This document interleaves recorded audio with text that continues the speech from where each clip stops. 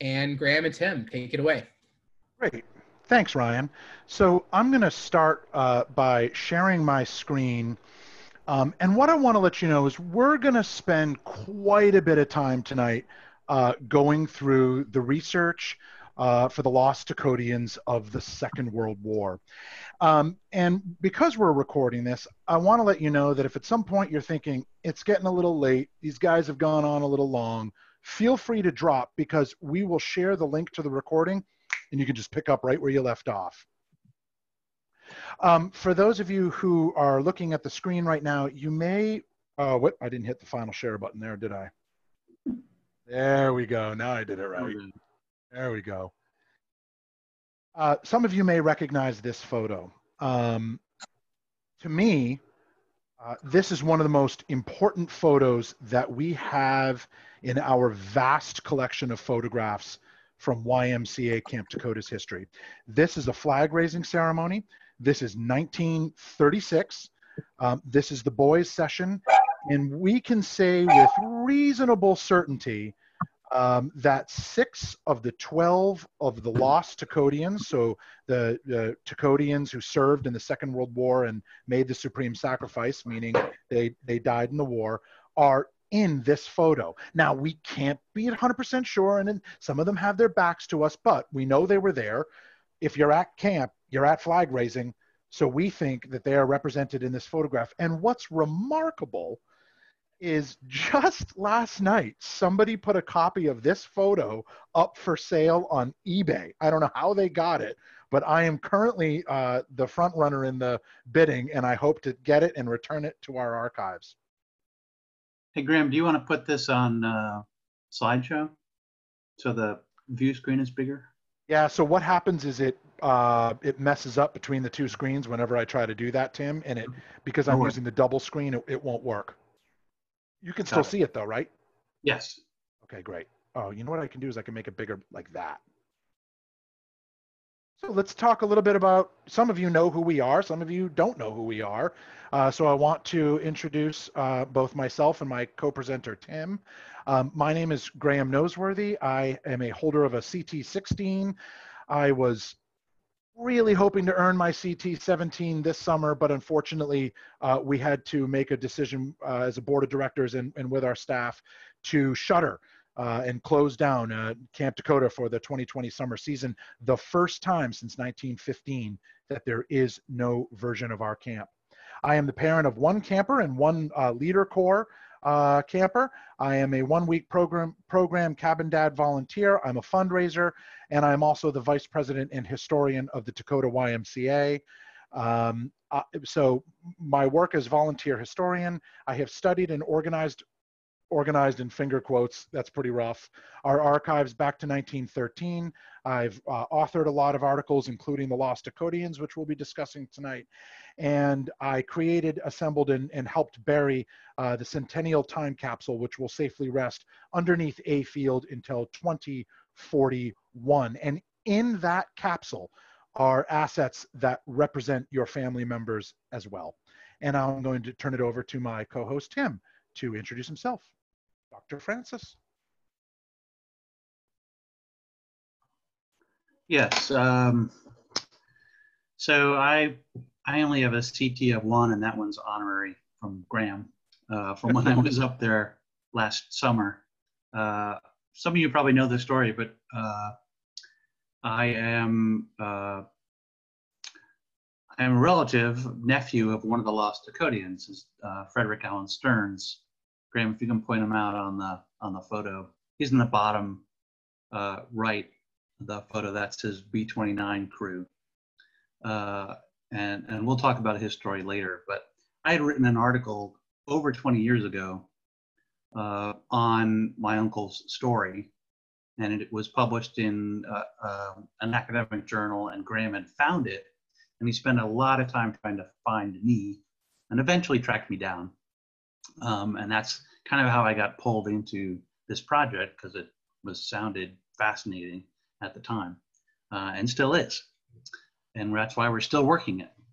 But as you can see here, I'm, uh, I'm a senior advisory historian for the Naval History and Heritage Command in Washington, D.C. I've worked for them sort of on and off uh, since the 1990s uh, as a historian. I'm also a reservist uh, in in the Navy, and actually that top picture is a picture of me on a cargo plane in Iraq when we were flying. Love that picture. And Kuwait.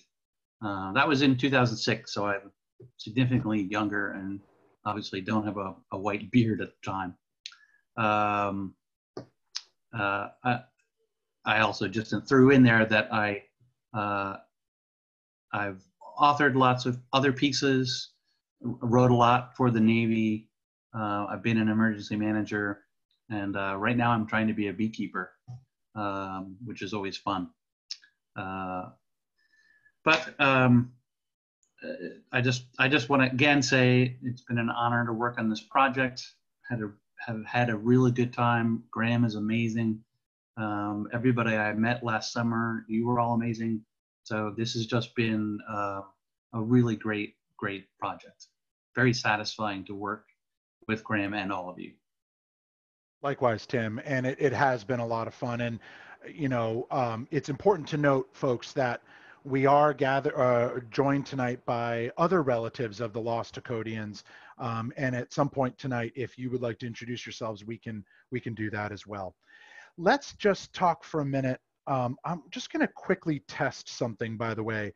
If I'm trying to, if I open up this other window on my screen here, Ryan, is it still sharing the PowerPoint? Yes. Okay, good. That was, I was just testing something. So let me tell you a little bit about where all of this information that we're going to share from uh, comes from. It is an enormous volume of information. So, you know, a lot of people think, hey, you just go on ancestry.com and type in a few things and, uh, you know, you, you, you can learn just about anything about anyone. Um, that is not true, I can assure you. Um, and this was a long process. It took us over a year. And we used a lot of information about Takodah. And we're going to talk about Takodah tonight, so don't worry. Um, we, we used original documents dating back to December the 8th, 1913, when RY was founded. We used a lot of board meeting minutes and record books, these really dusty, uh, old, um, very delicate three ring binders that were compiled by all of our former directors. Um, executive director history compilations. In fact, I'm going to be re referencing one of them tonight. We actually just made an interesting discovery uh, today that we'll be sharing. Uh, personal interviews with some of the folks that are actually on the phone, testimonial stories, uh, the National Archives of the United States, actually the National Archives and Record Administration, NARA, was a huge help. Um, and they continue to send us new information. We just recently received some new information on two of the boys that were that we, we did not know about previously. We used federal, state, local, and international records, including the National Archives of the United Kingdom um, and various organizations in France and India. We also used newspaper. Uh, the Historical Society of Cheshire County was incredible. Uh, educational records from schools all over the region, and of course the uh, Y archives, the actual Y archives of the uh, Y of the USA, and many, many, many, many, many other sources. There was a lot of digging uh, that went into this. A lot of hours in this room and a lot of hours working with Tim. But it's important to note that we try to triple confirm everything, um, but we're not always right. The documents are not always right, and it takes a village to do this stuff. So if you have a story that you think you want to share, or if you see something tonight that you think might be a little off, um, or something that has nothing to do with this subject that you think would be interesting to put in our archives, we would love to know. Who's that handsome fella right there? I don't know. He looks familiar. Um, so let me just give you a little bit of other disclaimer how this is going to work tonight. So right now you're seeing my screen. Um, the screen is going to turn on and off at different times because I'm going to share all different assets.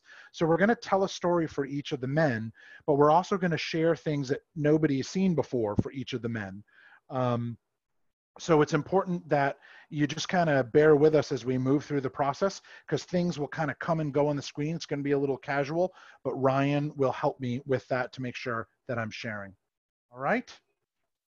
So for tonight, I'm going to have Tim set the stage. I think it's really important that if we're going to talk about men who courageously, uh, for, at the minimum, made the supreme sacrifice in the Second World War, we need to talk about what was happening in the world at that time. So we're going to do a little bit of setting the stage for camp and the war. We're going to go through each one of the men. We're going to spend a few minutes on each man. We're going to talk about Memorial Lodge and how this all started and why Mem Lodge is related to this. The 2019 Memorial Lodge ceremony that some of you were actually at, some new research and discoveries. We're going to talk about the future for this project, what Tim and I are currently working on, and we'll talk, take some of your questions. Okay, Tim, a world on fire. Set the stage. So, so in the in the the mid to late 1930s, and and pardon me if I make if I if I just I'm just going to presume that people know a little bit about the period, but not a, a ton. So what was going on? Obviously, everyone probably remembers or knows about the Great Depression. Right? So in the early 1930s, the United States was coming out of the Great Depression, um, but we were very focused on internal development, like trying to get the economy going again, trying to get jobs. You know, the some of those famous Dust Bowl pictures come out of this era, um, and a lot of uh, FDR's New Deal programs, getting people back to work, that sort of thing. But out in the wor- out in the wider world, there were lo- lots of trouble brewing around the world. The, the picture um, on the left is actually in China because the, the Japanese Empire actually went to war in China as er, in the early 1930s, um, although it, really sets, uh, sets itself off in 1937. So even though the United States is at peace and people are thinking internally, there are things going on in the world because the Japanese invasion of China, through lots of fits and starts, eventually leads to Pearl Harbor because of American interest in what is happening in China. Um, and in Europe at the same time, this is when Nazi Germany, uh, Hitler has come to power in Germany, and they have a very sort of revisionist outlook on the state of affairs in the world. They, the, the, the Nazis were very anti-communist, but they were also anti-capitalist. So, the, and they wanted to overturn what they called the strictures of the Versailles Treaty at the end of World War. So uh, there's trouble brewing, um, but here at home, um, everything seemed like it was safe, safe and at peace. So the boys at camp in the mid 1930s would have no would have had no idea what was in store for them. I'll turn it over to Graham now. Thanks, Tim. And it's important to note that when we think about the camp that these boys were primarily exposed to is a very very different camp from what we know nowadays. And not just because of modern infrastructure or the way camp grew over time. It's a bigger clue than that. It's because they saw camp before the great new england hurricane of 1938 so I like to say, and I'll be talking about this in a future talk, that it's really, there's really a tale of two Takodahs. There's the Camp Takodah from 1916, the one that's in Richmond, all the way through 38, and then there's the camp after that, because uh, Camp Takodah was completely uh, destroyed in 38. Um, but if we think about what was happening very early in camp's history, we are talking about, if you think it's rustic now, it was really rustic then. We had tents. There was barely any technical infrastructure. Um, I mean, camp, the weekly camp rate, for example, 1928, when one of these boys started going, uh, was raised from a whopping $8 to $10. Um, we were just getting electricity for the first time at camp. Uh, we were just, you know, improving our relationship and really getting into being a, a widely recognized part of the community. We were just starting to build permanent cabins, just starting to build permanent buildings. And what's remarkable is that even with the hurricane, mm. some of those buildings are still present and still in use today.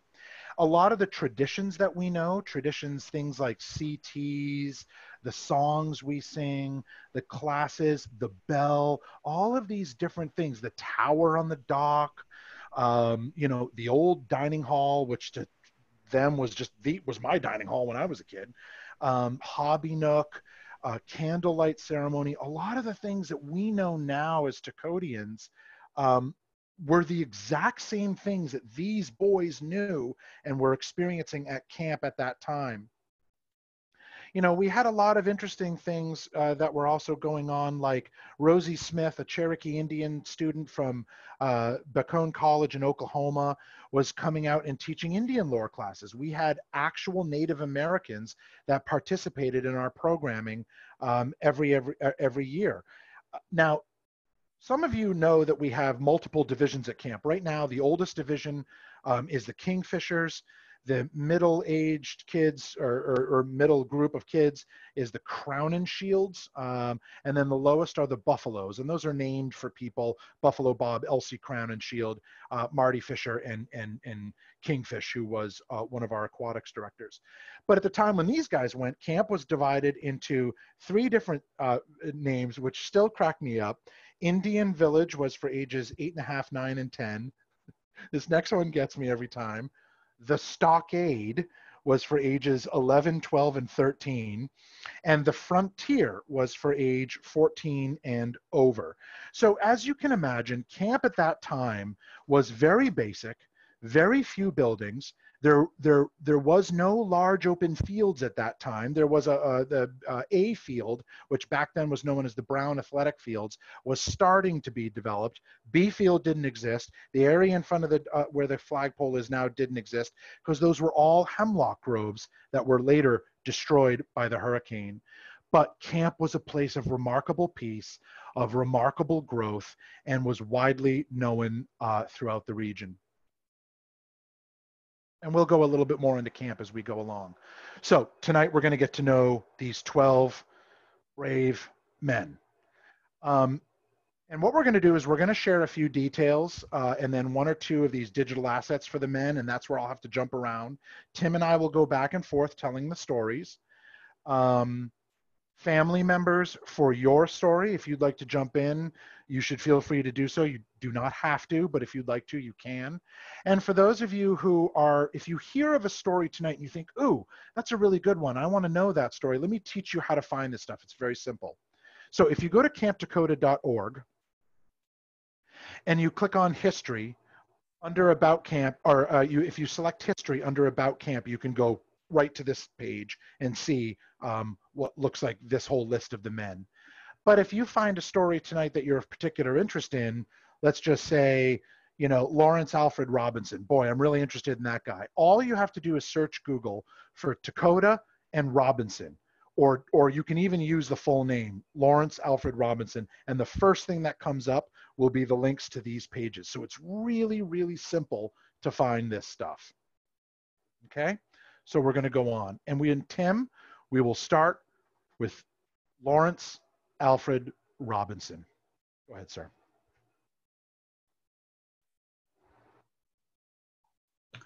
So um, Robinson. So if you look at uh, when you read the story, uh, you will see that he, and you, you, and you can see right here, he's born in 1916 so a little young, a little older uh, than uh, some of the other boys.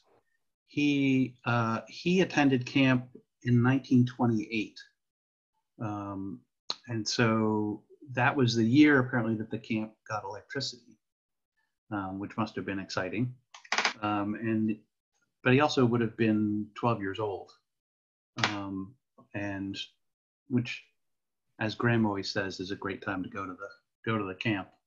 Absolutely. Um, some of the interesting things about uh, Lawrence is if you see the pictures on the screen, that that picture, that third picture on the right at the top, which is which is Lawrence actually wearing a homemade diving helmet that he designed and built, and uh, apparently it was through a tube two bicycle pumps. he would have his his buddies pump air down into the helmet so he could breathe, and he would go as low as like 40 feet in the water, which is uh, 32 feet is a is a um, one atmosphere. So that's getting it's getting pretty far down there. You know, scuba divers don't go go below 100. So pretty amazing um, that, that that he could do that.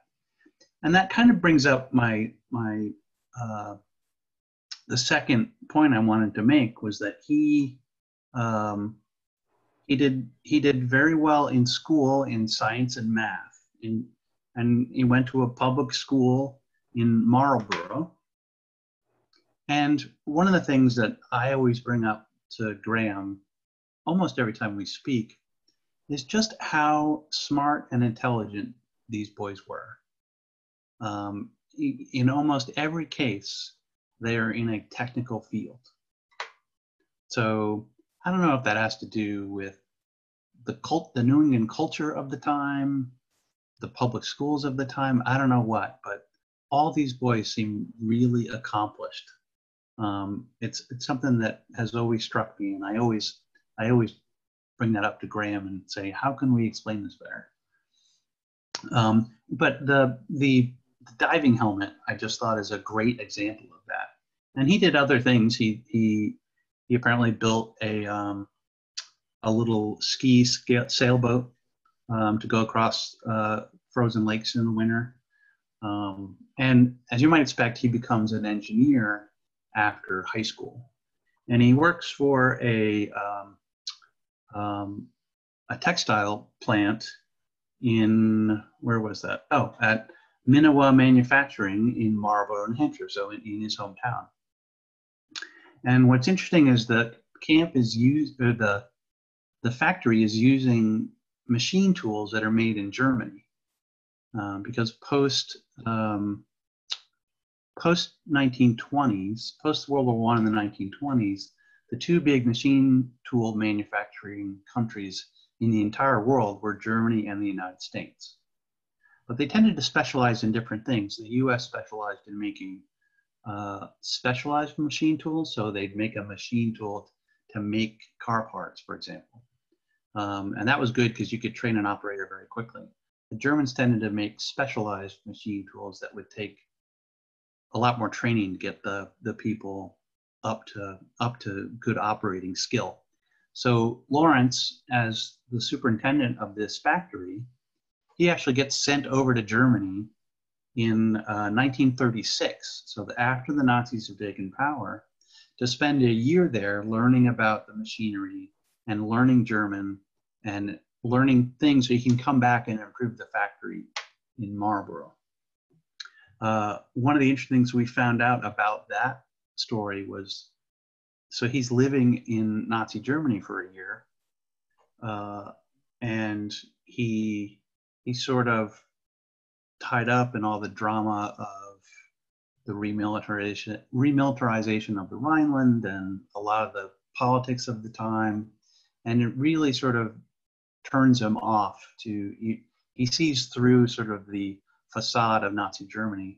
And while he's in Germany, he really becomes to appreciate democracy and the fact that the where he grew up, you know, he had liberty and nobody was bossing him around, telling him what to do. Um, and uh, he had, I'm sure, um, his had had learned about Constitution, civil rights, right to vote, all that kind of stuff, which much of that was disappearing in Germany at the time. And so when he when he comes home by ship in 1937 and walks off the ship uh, down the gangplank, he uh, feels the connection to what freedom means. Um, and when when Graham found that line, because it's he said, um, Freedom as a thing I had hardly known existed for 365 days, a thing I had seen a country of people denied. Now it was mine again. And if in fact my friends had the same amount of it, but they did not realize what a wonderful thing it was, for it had never been denied them. I, I just found that very, very poignant and um, that really gets you in the heart. The um, so what happens is he's working as an engineer, and then the war begins in Europe in 1939, and then Pearl Harbor, December 7th, 1941, and that's a big day for many of these boys, right? Because that's what gets them thinking about joining um, the service, uh, whichever service it turns out to be. And so on Pearl Harbor, he starts thinking about what he's going to do. And actually, almost immediately, 20 days after Pearl Harbor, he joins uh, the United States Army Air Forces. So he's an engineer. He's worked as an engineer, so the, the Army Air Corps would see him as a very valuable asset. And indeed, he actually trains up as a flight engineer, which is the sort of the main, um, the main operational engineer on a bomber. So other people will have different skill sets. You know, the pilots will fly the bomber, the navigator will get it where it needs to go, the gunners will man the defenses, but the flight engineer is critical for making sure the bomber works as a system. So it it is one of the, the more critical um, positions in a bomber crew. Um, but he's a smart kid, uh, a smart guy by then, and, and he, he is able to do that job. Um, can you bring up the patch, the 310th bombardment patch? Graham, if we have that. Ah, let me see if I can find that. Yeah, if not, it's okay. Um, what's interesting about Lawrence, if not, bring up a picture of a B 25.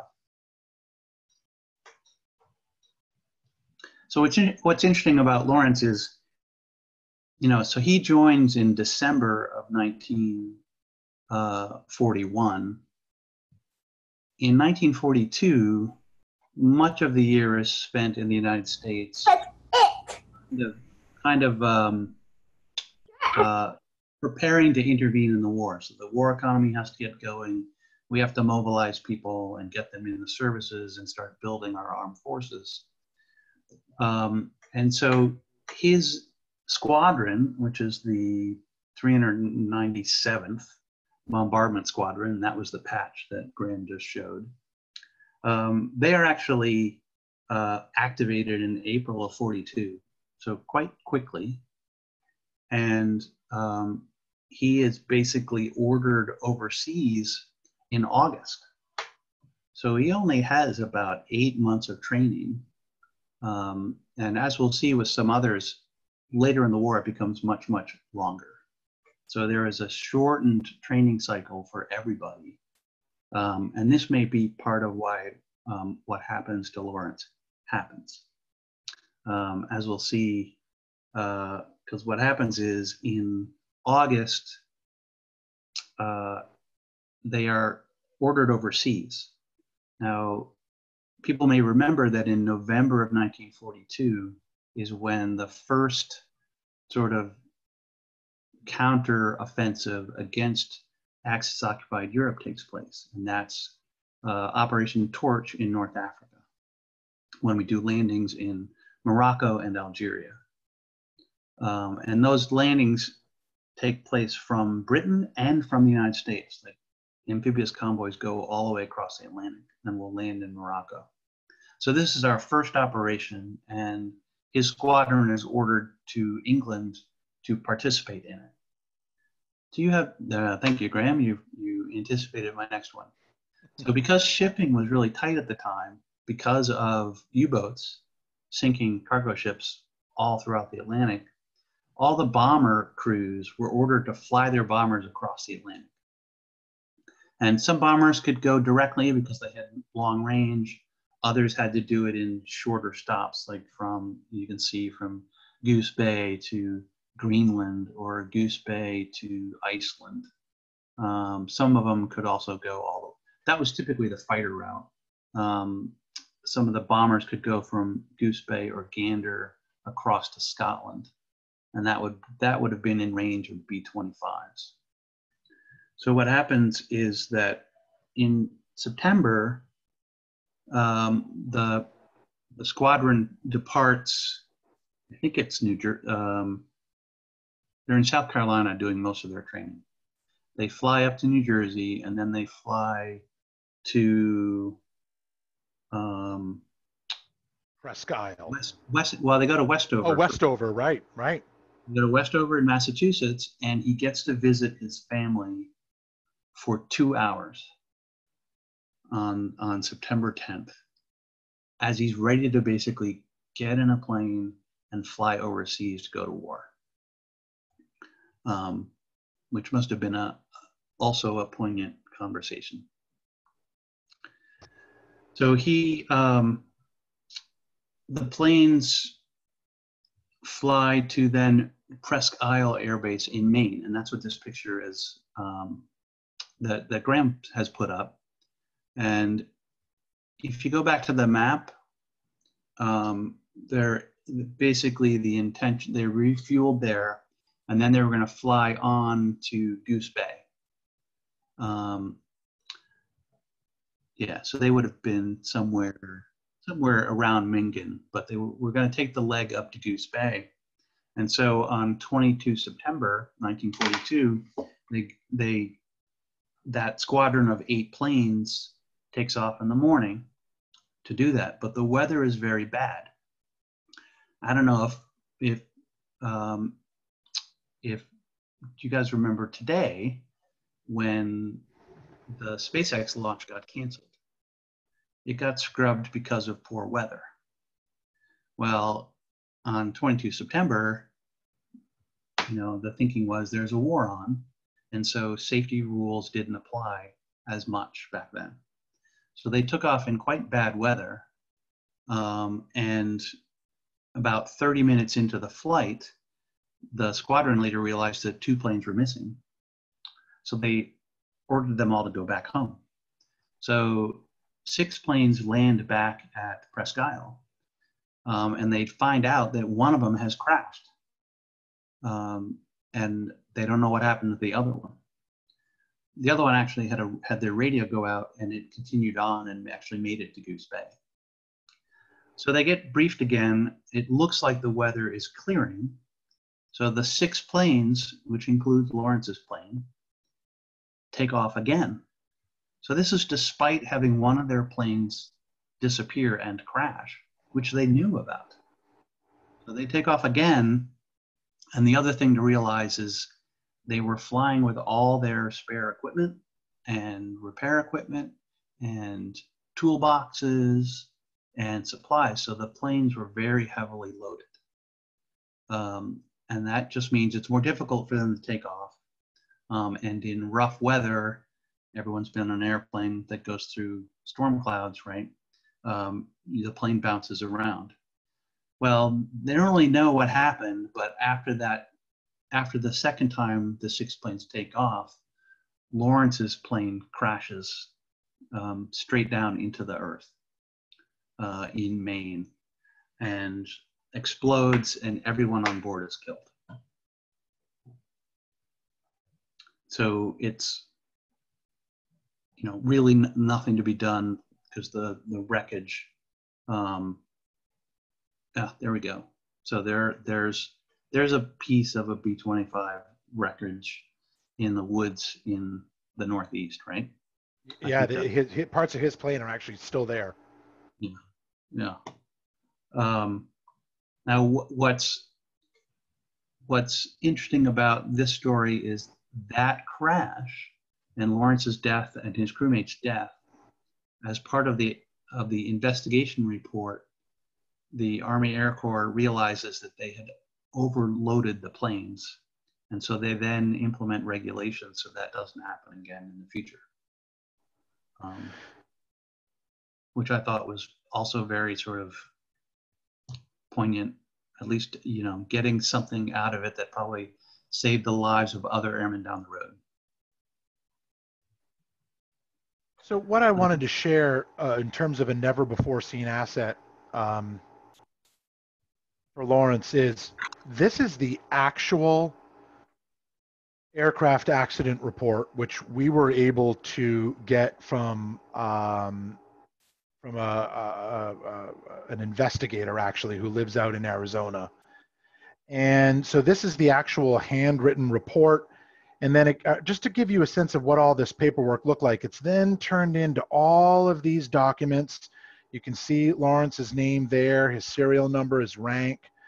Um, and so these are the kinds of documents that we had to uh, basically learn to translate. And you can see here, aircraft lost left wing and sharp pullout and crashed in wooded area, structural failure. And this document goes on and on and on and on. And basically what it ends up telling us is that this plane was terribly overloaded. Um, and that leads to an investigation. But what you're seeing here is the process that the military went through at that time um, to really be, begin to figure out what had happened. And this gives you a good sense of what some of these documents look like. And let me see if this one, some of these things go on for just hundreds of pages. This one also had um, the uh, news reports and then there's the actual photographs of the plane um, after it had crashed. There's no bodies or anything here, but these are actual photographs of uh, of Lawrence's plane on the on the ground uh, right outside the woods of Maine, and the rest of it is still in the woods. Hey, Graham, quick question. Yes, sir.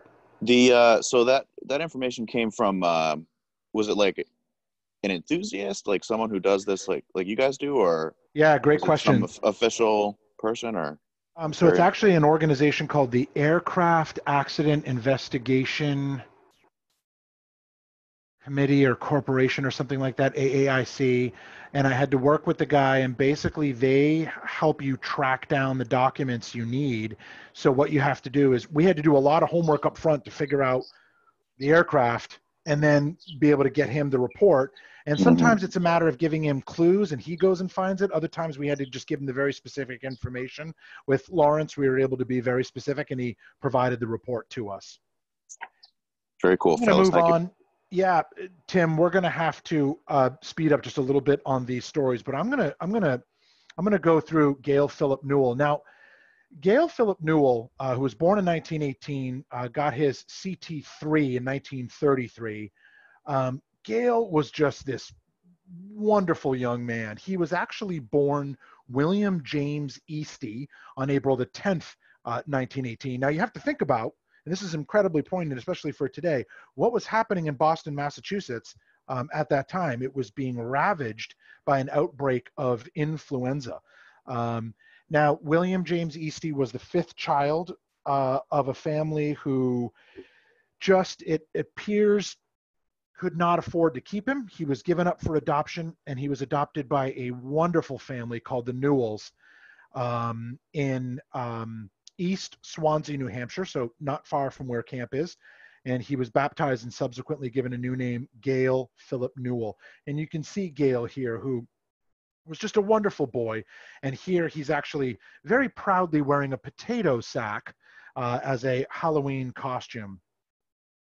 Now, Gale lived a very decent life um, and, um, you know, went to the Keene public schools, lived in a, a, a, a lovely house in, in uh, with a shiny 1929 Dodge. And at the age of 13, he registered to attend YMCA Camp Takodah. Uh, as a first time camper, he actually enjoyed the newly constructed cabins, some of which are still in use today. He slept on very modern double decker uh, bunks that were uh, had hay stuffed mattresses, and he kept coming back to camp. He came back several times, um, and by all accounts, we've been able to see that he loved it. We actually have some of his original registration cards. Uh, we have those for a lot, um, and he signed them. He was a really good in the classroom. Um, he attended Keene High School. And in the yearbook from 1936, I loved this. The, the quote about Gale just says, we know Gale will make a swell postman. And the thing about that is, that's what Gale wanted. All he wanted was a simple suburban, you know, life with a, where he could raise a family and just be happy. But before that could happen, um, he decided to do his patriotic duty um, and give back. So on September the 29th, 36, at a recruiting station in Fitchburg, Massachusetts, just up the road from where I live here in Leominster, Massachusetts, Gale filled out NRB form number 24 and respectfully requested permission to enlist in the United States Navy. His high school teacher, Mr. Frederick Stearns, um, who is the father of Frederick Allen Stearns, who is Tim's uncle. So th- this is all very connected. The connections here are, are, are really amazing. Um, he actually had Gale in class and stated that he, he's known him for years. He was a very good guy. He was a small town boy, somewhat spoiled at home, which I thought was hilarious, but otherwise had excellent possibilities. And we know this quote from Mr. Stearns because we were able to get Gale's official military personnel file from the military. Um, it's uh, from the National Archives. It's about 150 pages or more, and it has every single thing from that boy's life, uh, including these letters of recommendation. Gale was processed into the United States Navy on the uh, 11 March 1937 at a Navy receiving station in, in Springfield, Massachusetts, and he began his recruitment training at uh, his recruitment training at Naval Training Station in Newport, Rhode Island. He did very well in swimming. Uh, he was a tribute to the classes, which uh, that he took at camp because we know he was a very good swimmer at camp. Um, and he was noted as being intelligent, which goes back to what Tim said earlier. These boys were very smart. He goes through his training, and while he's stationed, um, he met a lovely friend of a friend named Irene Lillian Battine. They fell in love and were married on October the 19th, 1939, uh, by a justice of the peace at City Hall in Westport, Massachusetts. Um, always thinking a few steps ahead, Gale had filed paperwork for a commutation of rations uh, the day before so that they could establish living quarters away from the station once they were married. He didn't want to take his wife into the barracks, I'm sure. A couple of months later, Gale was promoted to pharmacist first class, or I'm sorry, pharmacist mate third class. Uh, he learned some medical skills, and with the war escalating in 1940, um, he knows he uh, it's starting to get pretty serious. Um, he is transferred to headquarters supply company of the 5th Marines, Fleet Marine Force at Naval Torpedo Station, Newport. And now he finds out he's going to be a father. So his son, Gale Douglas Newell, uh, was born, and being a good guy, uh, Gale took an honorable discharge in March 21st, 1941. He had served his four years. He was he was done. He was out. Uh, and this picture here is Gale right around that time, uh, this picture that I'm pointing at. But the war got in the way of his plan to return to civilian life and settle down. Uh, so he reenlisted. Um, he felt the call. He went back. Um, he was uh, fit for sea duty. Um, and he went off. Uh, the social pressure and the uh, desire to go, which he did not have to, but the country and the Navy needed him, so he went. Um, but he didn't just disappear one day. I mean, he makes these decisions with his family. This is what true leadership looks like, right? He'd seen it at camp, he'd seen it in the schools, he'd seen it from Mr. Stearns, he'd seen it, seen it, seen it. So um, they made the difficult decision together, and on uh, March the 5th, he officially reinstates um, he is reports to the USS Barton, a destroyer, a brand new Benson class destroyer. You can see the Barton here, DD 599. Um, and she that on the day she's commissioned at the Boston Navy Yard on the 29th of May, 1942. Gale was blown away by the ship. It was sleek. We know this from his letters. It was fast. It was armed to the teeth. It had these guns. They called them Chicago pianos for the way they recoiled. And it had these big 21 inch torpedo tubes capable of unleashing these deadly tin fish. She was under the command of Lieutenant Commander Douglas Harold Fox, a Naval Academy grad uh, with a distinguished reputation. And they put to sea. Um, but you know, destroyer life is a is a really hard life. Um, it's not glorious. It's not uh, what you might think of life on, you know, some fancy aircraft carrier. And what they used to say was there's too much red tape on those big ships. On a destroyer, you know everybody with their good sides and their faults, and everybody knows you. You can't sham on a destroyer. You got to be a sailor, mister. Uh, now they go on and they uh, start their tour and they, uh, following the landings in the Solomon Islands, um, they move on uh, as a reinforcement. They get assigned uh, to, let's see, um, Operation Shoestring, which was, was jokingly called. Um, and the destroyer starts sailing through the Pacific. And Gale was lear- learned at that point he was appointed a pharmacist mate, uh, second class. So this goes on. They're going through their combat. They're going through training. Um, they're going through uh, the uh, the Battle of Cape Esperance, so part of the Guadalcanal. They're doing all these different things. And actually, what's interesting is Gale ends up uh, fighting in a battle that another of the Lost Takodians named Raymond Miley Kreps also fought in. So they actually didn't know that they were in the same place at the same time. Um, on 25th October, they get into some pretty heavy combat um, off uh, in an arc off the uh, Santa Cruz Islands, uh, and it starts to get pretty nasty from there. Um, the USS Hornet is struck by torpedoes. Uh, Barton actually suffered a puncture wound. Um, Northampton, which was named after the town that I grew up in, was involved in that, was actually helping um, put out fires. Um, and Barton just kept fighting. Um, and it goes on and on and on as this day of fighting continues. Um, and eventually, the Barton um, on uh, November um, is involved in a in another fight, and as she is fighting, um, two massive explosions blow out the bottom of the destroyer, breaking Barton in half um, as the warship's midsection disintegrated, and she just disappeared in fragments um, and was gone. So, according to Radio Man Jack Slack, a few lookouts, gun crews, and men uh, said that they just had no chance to jump over the side. She just went under the water, and pharmacist mate second class Gale Philip Newell, who was at his battle station below decks, just forward of the engine room, was killed without warning, along with 163 of his shipmates.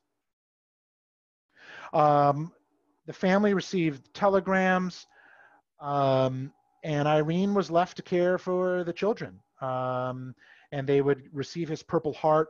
Um, and those medals and Gale's rank and insignia and service medals are hung in the family's house to this day. Now, what's interesting, and I'll share this, and then we'll move on to Raymond Kreps. What's interesting is this is a picture of Barton where she rests on the bottom of the Pacific. And Dr. Robert Ballard found her. Dr. Robert Ballard also found the RMS Titanic. And he said, I'll never forget our first look at Barton. And we always imagined that that was exactly how Gale had felt when he first saw his ship. Tim? Now I'm the one taking too long. Let's go through Raymond Miley Kreps because this is one of our favorite stories, and let's see if we can do it in just a couple of minutes. Yeah, okay. So um, another Navy guy, um, which is always uh, close to my heart. Um, so uh, Kreps, uh, he, they actually called him Creeps at the Naval Academy because um, the Navy always likes to give people nicknames. Um, he also went to camp when he was 12 in 1931. Uh, apparently, a very active uh, kid. He, when he uh, he does well in science and math in um, in high school, and then he also spends a little goes to college at Rensselaer Polytechnic Institute um, for engineering and math. does does very well, and uh, then gets accepted into the Naval Academy in uh, 1938. And we found the medical record of um, his his sort of entrance medal exam into the Naval Academy, and it is just full of all the scars and bumps and bruises that he had gotten as a kid, probably a bunch of them at the camp. Um, there's a, uh, what is it? The uh, they had he had nine notable scars on his hands, legs, and torso, and his skull. He was missing the tip of his ring finger and had a two-inch scar in his abdomen. So yeah, he probably played really hard, um, and and he did well in he did really well in sports at the Naval Academy, and he actually was a surprisingly good singer. Like they noticed that um, in um, what's the Lucky Bag is their yearbook. Um, yeah, that's his that's his picture in the middle. He probably did well with the with the ladies in Annapolis as well. Um, what's interesting about his class is that uh, they graduated early because he was set to graduate in the spring of 1942.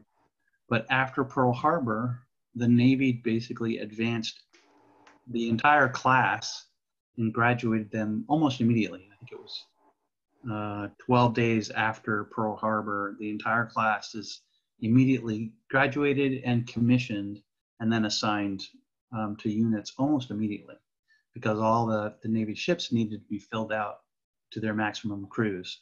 So just like um, just like some of the others, it's a very quick training process for uh, for Raymond. Um, as an aside, it has nothing. It's it's not comparable. But in my first mobilization to Iraq for the Navy in 2006, I was given two weeks notice um, before I basically had to go start the training pipeline. So I kind of know what it feels like, what it must have felt like for him to go through this this really rapid training program. But again, really smart uh, man. He is a mathematician, engineer. So he actually becomes a radar officer. So at the time, radar was a brand new technology. So he is on the cutting edge of technology um, and is assigned that picture in the on the left is of uh, battleship South Dakota. Uh, yeah, there's a radar station in the ship. So he's he's a gunnery officer in a battleship which has a crew of thousands of of uh, officers and men. Um, their main armament were these 16-inch uh, uh, cannons. Um, thanks, Graham. These are great pictures. You can see the radar mast on the very top of the of the ship, and basically in the stack there um, uh, is a little tiny radar room, sort of below the um, the cross yardarm, uh, Graham, right in that sort of mid height of the of those of that tower is where Graham's um, battle station or where Raymond's. uh, Raymond's, Raymond's battle station would have been. Um, so a, a, couple of other interesting things after he finishes radar school, he gets assigned to, to uh, South Dakota and doing some training and stuff off the East Coast. And he gets a couple days leave and he gets married to a woman named Janet Wheeler in New York City. We don't know how we met her um, uh, or anything. It was just boom, he gets leave. He's in New York. Justice of the Peace marries them in a couple hour cer- ceremony at City Hall, or probably five minute ceremony, and they get to spend a two day. He goes back to his ship, and she never sees him ever again. Um, so, uh, uh, one of those wartime tragedies. Um, so he, but you know, it's it's 1942, the summer of 42. There's heavy fighting starting in the South Pacific against the Japanese Navy, which is a, a very equivalently advanced technology, large, capable Navy. Probably the most determined naval foe the US Navy has ever fought. Um, so, a very, very tough uh, campaign in the Pacific. And so, uh, Raymond and gets sent there in South Dakota in August of 42. And uh, like, like Graham, uh, Graham mentioned, um, in October, there's what's called the Battle of Cape Esperance, which was uh, a carrier battle where the ships never sighted each other um, on the surface, but it was airstrikes between aircraft carriers launching planes to target the enemy ships. Um, and uh, what what uh, Raymond did is he used the radar set give warnings to the ship about approaching air, Japanese airstrikes because the radar could see Japanese planes about 50 or 60 miles out, so much farther than the human eye. And that enabled the US forces to, you know, bring in fighter planes and have them go after the Japanese bombers and prepare anti-aircraft guns like um, to, to fire at the approaching planes. So the, the battle's pretty intense. Um, I don't think South Dakota actually takes much damage. She takes a few hits, but the, the Japanese aircraft are really going after the aircraft carriers because that's the biggest threat. Um, and uh, what what Graham was talking about with Newell was after the battle, all the ships retire um, a couple hundred miles to the east to refuel. They meet oil tankers at sea and they take on fuel and maybe some more ammunition for the guns, et cetera, et cetera. And during that refueling operation, both the Barton and South Dakota are in the same piece of water on the same day at the same time. And there's a Takodian on each ship, but they don't know the other person is there. Um, and sort of the fascinating thing is just a few days later, they will both end up at the bottom of the Pacific Ocean, very close to each other a second time, and this time for all time. Uh, we just, Graham and I just found that very, very touching. So what happens is on the night of 12, 13 November is when what what happened is is the the U.S. Navy is trying to get supplies into Guadalcanal because there are Marines fighting the Japanese on the island, and so they have to get these supply convoys in, and that's why the ships are going into what's called Iron Bottom Sound, uh, and that's because of the number of ships that get sunk there. Graham, can you bring up the picture the the shipwrecks for um, Iron Bottom Sound? Uh, yep. Hold on one second. Yeah, there's there's the we go into great detail because we have the after action reports. You could bring up an after action report too, if you could. But we go into great detail on the course of the battle, and and basically Raymond is helping direct the fire of the ship's guns by spotting the Japanese ships in the dark by using his radar set.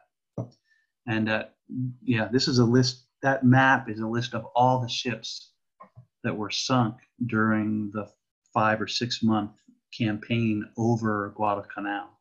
So these these ships are sunk on, you know, there's probably a dozen and a half different engagements that lead to all these ships being sunk there.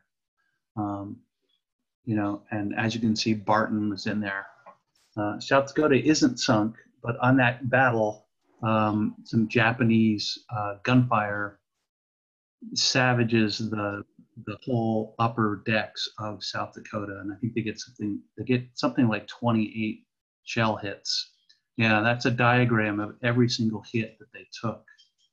Um, and if you want to, I think it's hit number, what is it, 13, 14, 15.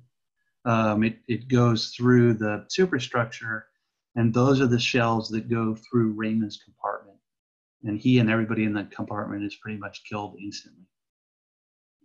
Um, then, um, yeah, that's that's actually a damage report photo of the actual compartment. So Raymond was sitting right there. Yeah, just completely wrecked um, by by the shell hits. Um, that's now, the what, open. What, that that's open to the sea, by the way. That's the sea in the background. What you're seeing there. Those are the one, two, three shell hits that came right through. Right. Yeah. Um, now, what what the other thing that we found sort of really um, interesting about Raymond's story is the crew, because the ship is in a battle, a war zone. They're way out in the middle of the South Pacific. Um, there are no sort of structures, there are no morgues or anything, and there's not enough room on the Navy ship to have a morgue. So all the any casualties are buried at sea. You want to bring up that picture, Graham? so this is the ceremony where Raymond and his shipmates uh, were buried. There's this picture, and you can see they're they're they're just wrapped in shrouds.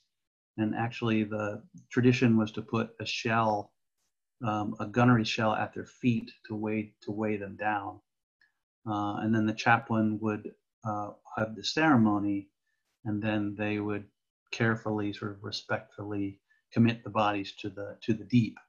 Um, I've actually been on an aircraft carrier when did a burial at sea. Um, the they were the person had been cremated, so it was it was uh, easier. It was just a box of ashes.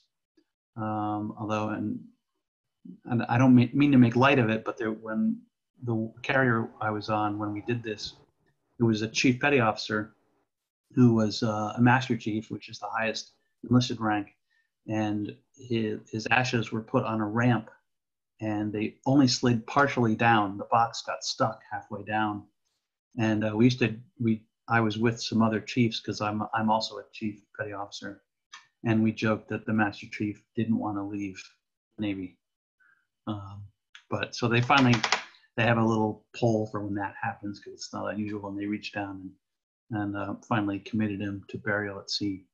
But anyway, it just um, I was struck by the burial at sea photos um, as, as kind of the, um, the, the the final resting place of Raymond, um, which wouldn't have been very far from the final resting place of Newell.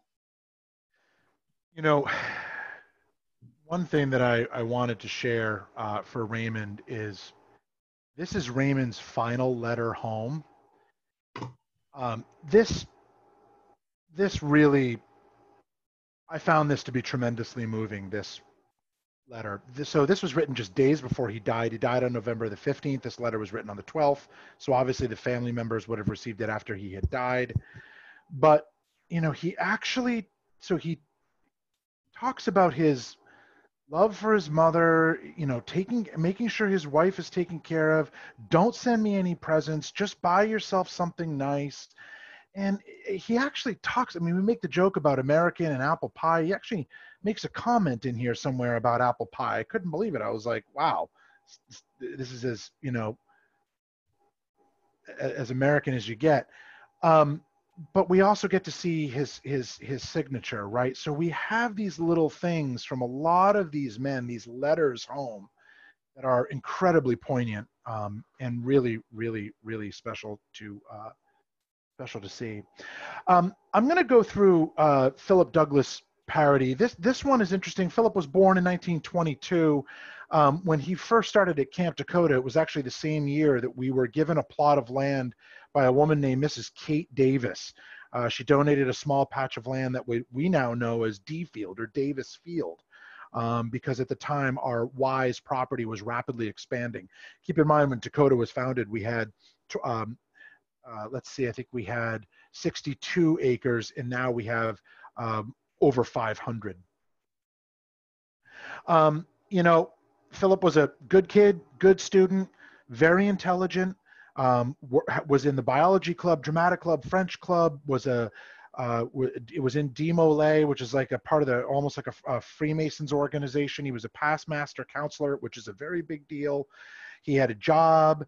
Um, he had a, a girlfriend that he loved very much, who was affectionately known as Puggy, and I'll come back to her in a little while. But Philip, just like lots of boys, on the 31st of December 1941, he enlisted. He was five feet eight inches tall and he weighed about 125 pounds. And he joined in Springfield, Massachusetts. Philip was processed through uh, uh, Rhode Island. Um, he learned like a lot of boys did by doing. He earned about 21 bucks a month. He served on board a ship called the Wyoming, which was a tra- uh, training uh, ship.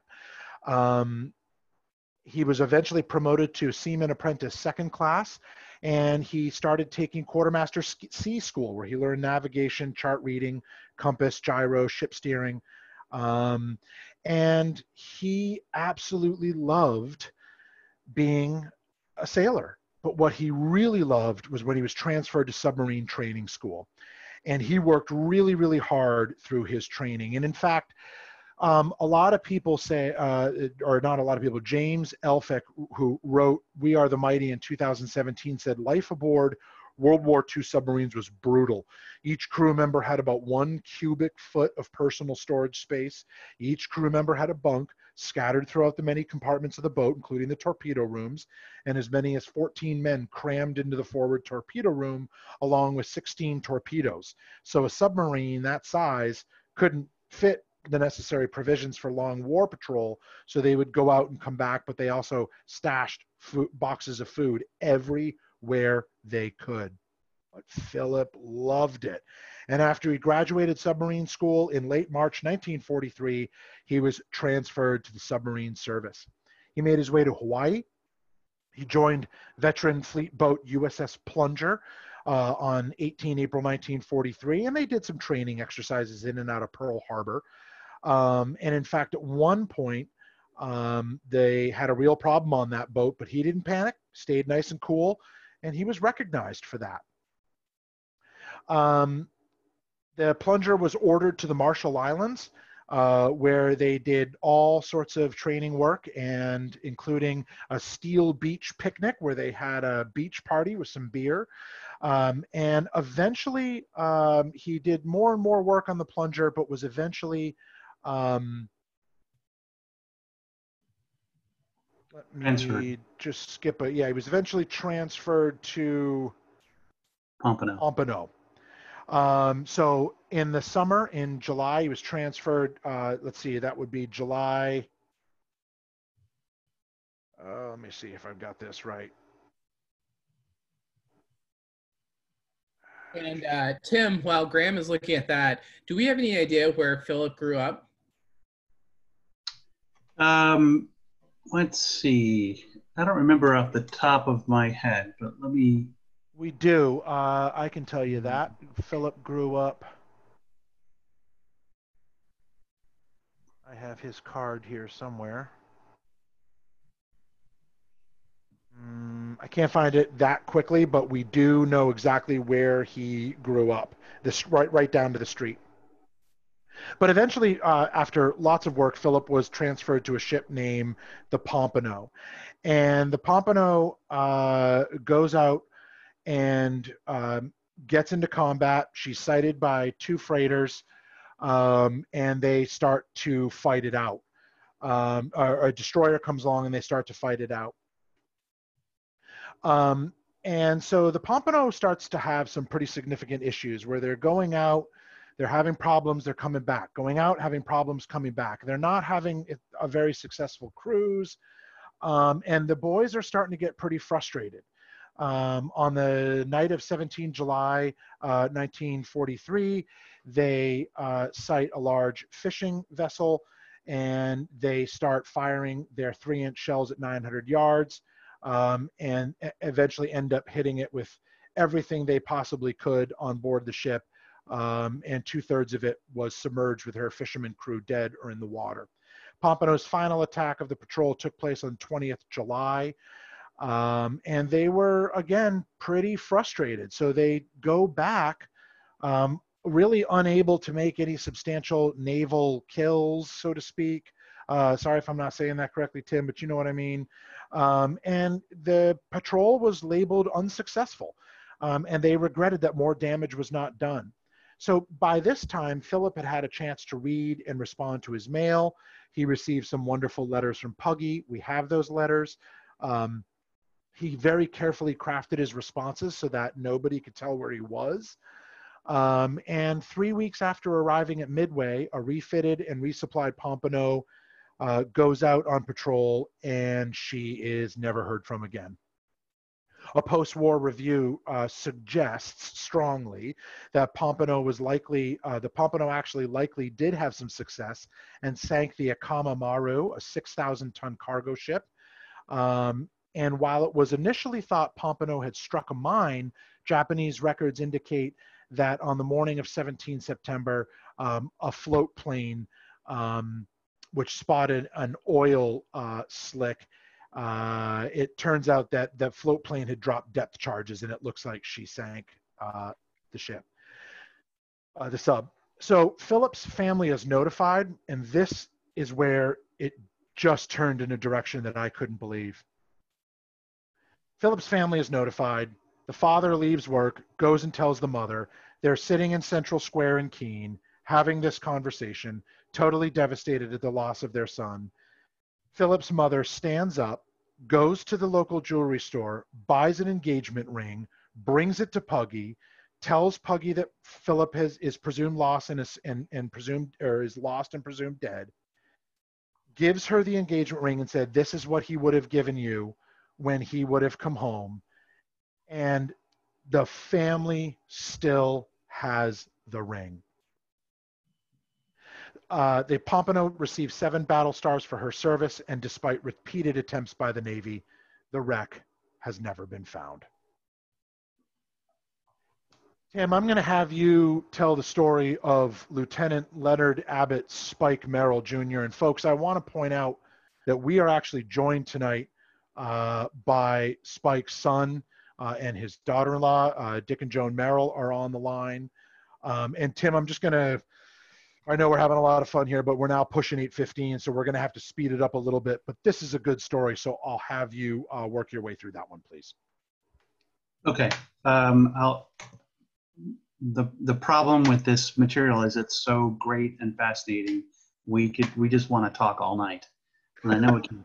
So again, uh, another um, foot stomp for look at the website and and you can see all the all the details that we've come up with.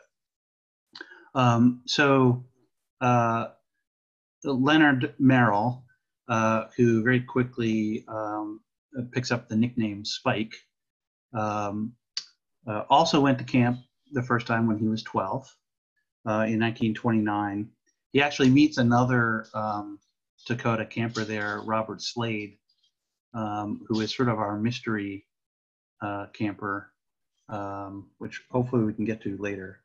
Uh, some of the interesting um, tidbits was, you know, he grew up and worked on a farm as as a boy, um, but he had a he had an initiative and a smarts about him. Uh, one of the cool things we discovered was that in high school, he uh, he sold milk and crackers during recess on the side.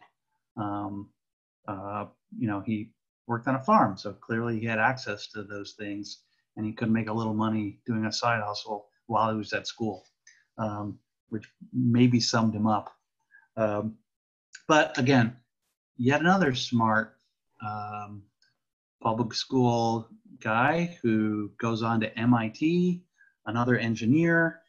Um, he joins the Army Reserve in 1939, which was unusual for for the time, um, and uh, he actually gets a job as an engineer at a fire insurance company. And he, while he was finishing up at MIT, he met um, a woman named Dorothy Barr because, you know, as the joke went, he needed someone to type up his paper, his final paper. Um, so that's why he struck a conversation, struck up a conversation with her. Um, but uh, so they they they met and they were married in October 1940. Um, he at this time is working in Buffalo, but he keeps coming back to, uh, um, I think it's, what is it, Peterborough, um, to, to see his family.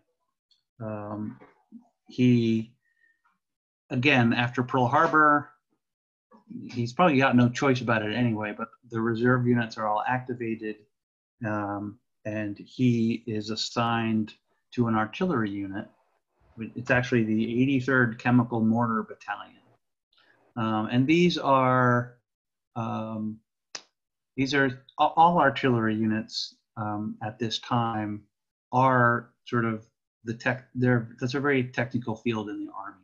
You know, there's ballistics, there's a lot of math, there's um, a lot of science, and in particular with the chemical mortar battalions, they were firing uh, white phosphorus shells, which were basically smoke shells, to basically provide um, short-term cover for infantry or armor or other units on the offensive or on defensive. So it was a, again, it was a, a technical job, um, and he was a, he was an officer in that um, in that unit.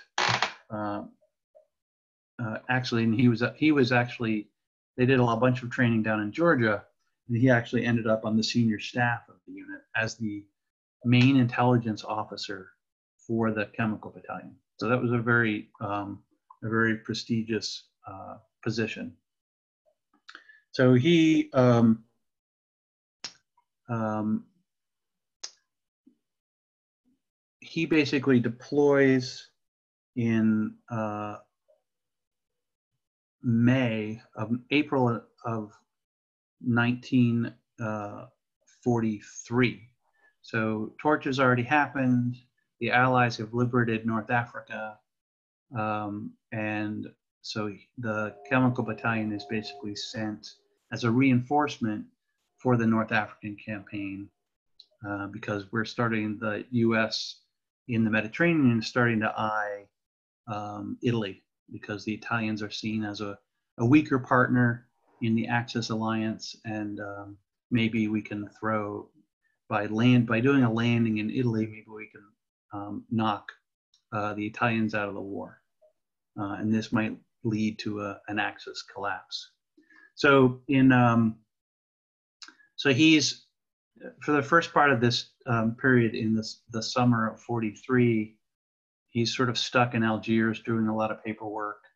Um, and he actually, uh, there's a landing, the first landing um, in June uh, or July, sorry, is when the U.S. troops land in Sicily. And he's not in the first wave, and he, but the one of the companies is, and he ends up going to Sicily, um, you know, follow on reinforcement to basically help the, the mortar company as Sicily is liberated that summer. Uh, then, uh, which which have that picture that um, Graham showed of the troops marching through the town was from the Sicily campaign. So what's what's sort of fascinating is in September the Italian government collapses and Mussolini um, is uh, Mussolini's government collapses and the Italians are um, basically go out of the war. But the German army occupies most of Italy. So while it while the the campaign did accomplish its main goal, it didn't it didn't accomplish its strategic goal, which was to completely liberate Italy. The Germans beat us to the punch, and um, so that meant we had to re we had to invade Italy proper. And so this is where um, um, it becomes difficult. There's fighting in southern Italy in the mud and the winter of the fall of 43, October, November, uh, September, very bad weather, miserable fighting conditions. Um, yeah, here's a good example of um, of it. You can see it's cold. They've got gloves on and several layers. They've also got their mouths open because the overpressure from firing the mortars um, would give them headaches. Um, and uh, the, the shock wave of shooting off those large shells would just wear, wear, them, wear them down. A very, very tough, grueling, grueling work.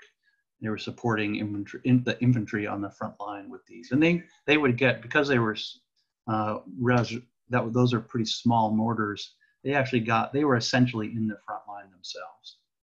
Um, so also a very dangerous uh, job. And um, during this uh, during this time spike actually uh, comes down with jaundice um, and is sent back to italy to recover and i think he writes um, several letters while he's recovering in italy uh, sicily so he, he flies back to italy in december and the next stage of the operation is a landing um, up the coast in Italy to try to go around the mountain ranges south of Rome.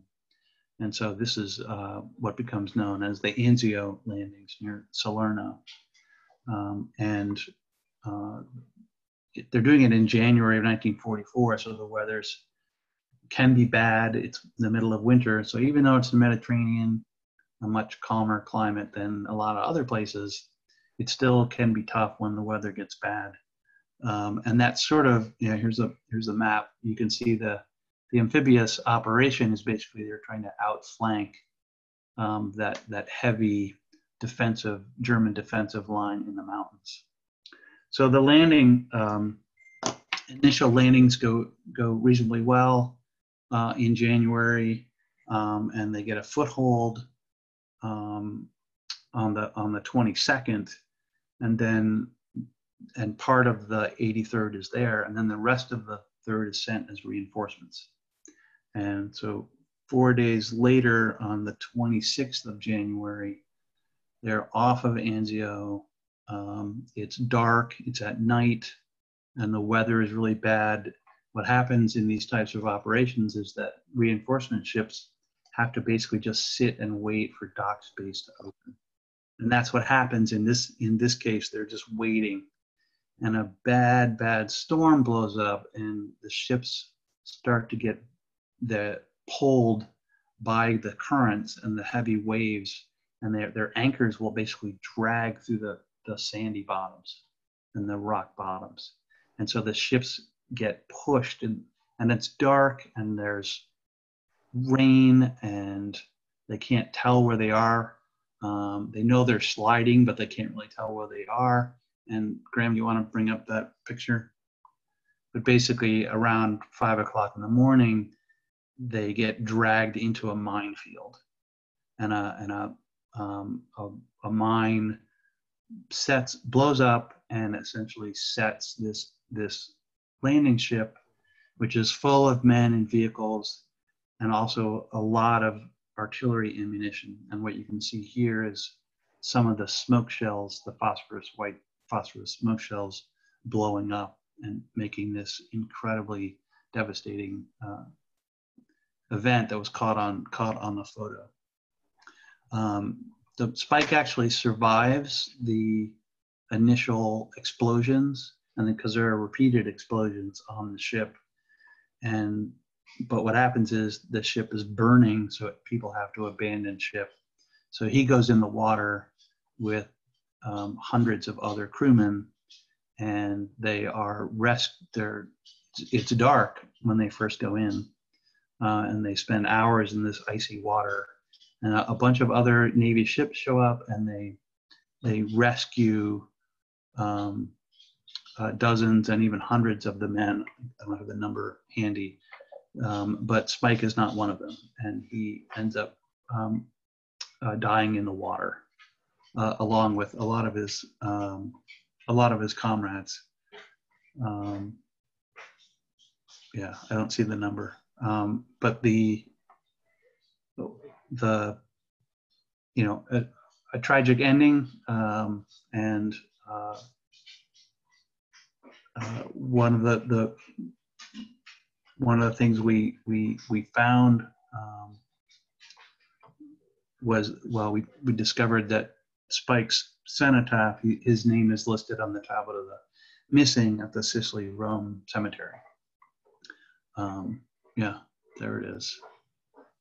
Hey, Tim, just a quick question. Uh, do we know the name of the transport ship? We do. Uh, it was the LST 422. Yes. Thank you.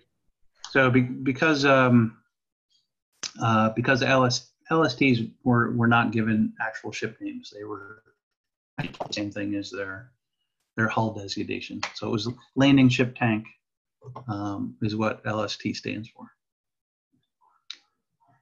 And during our research, what we discovered is we suspect that um, Spike was actually injured because we know he was a strong young man. We know he was a competent swimmer. We know uh, that he helped to get a lot of uh, his uh, men to the back of the ship to have the, I'm sorry, to the front of the ship, I believe, one or the other, to go down the anchor chain. That's how they got into the water. So he made sure they got in before he did.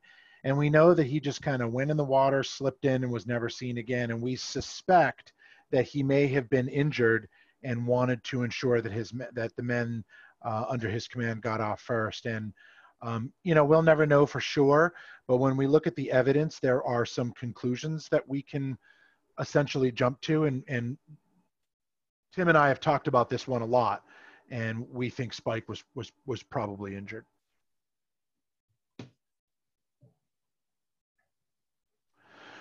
Now, uh, what's interesting, and I'll just quickly tell this, is that Spike's son Dick, who is on the phone, went on to marry a woman who coincidentally had attended YMCA Camp Takodah. Um, and just this last summer, we actually presented Joan with her 10 year jacket, which was, which was pretty cool.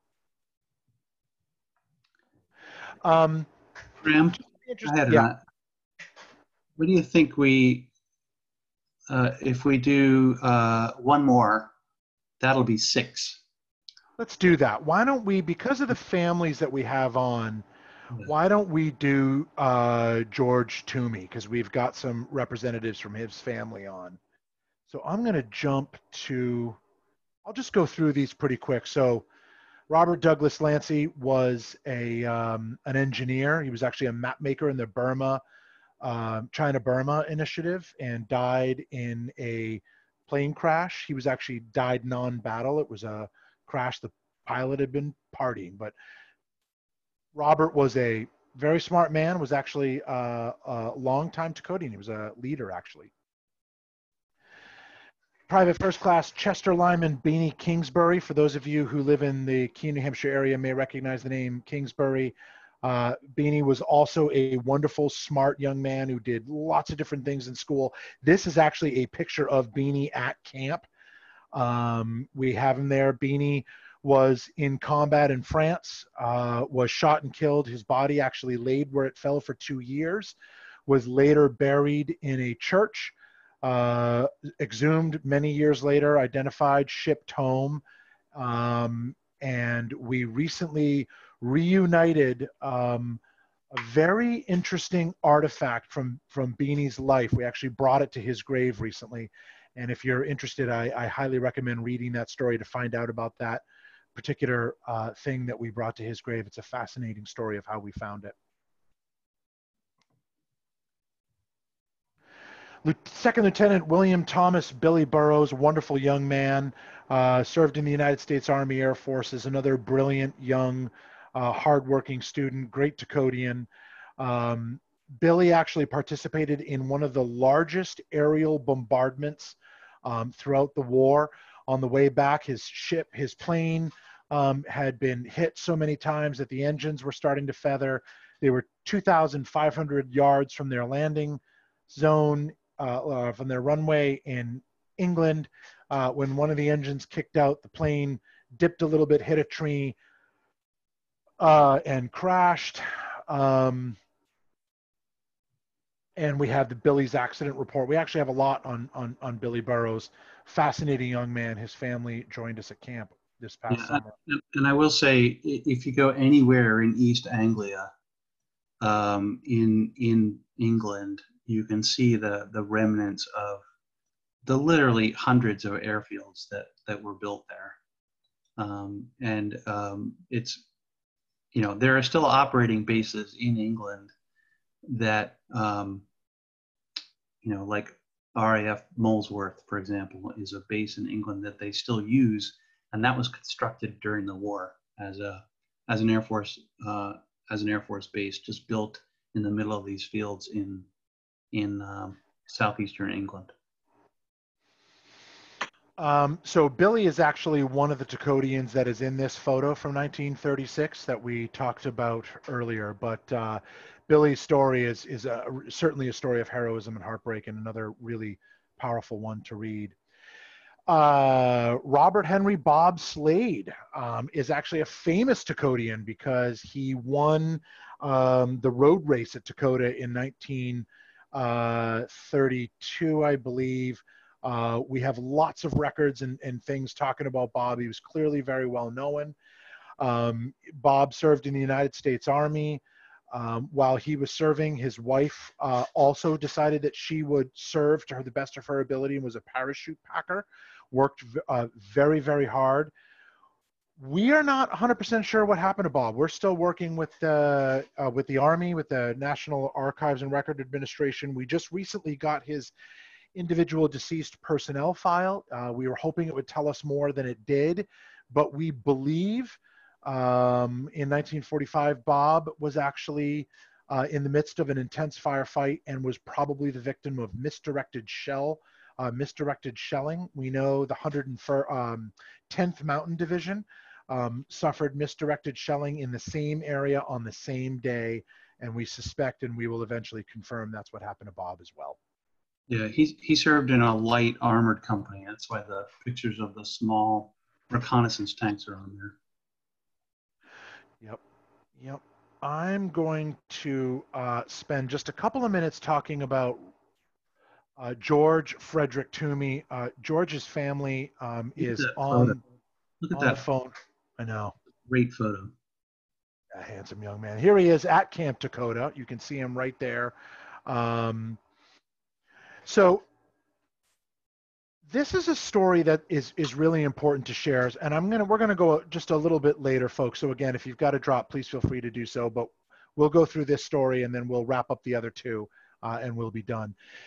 This story is important because this is not just a story about George. This is a story about his whole family. And, and 1934 was a very difficult year uh, for the Toomey family.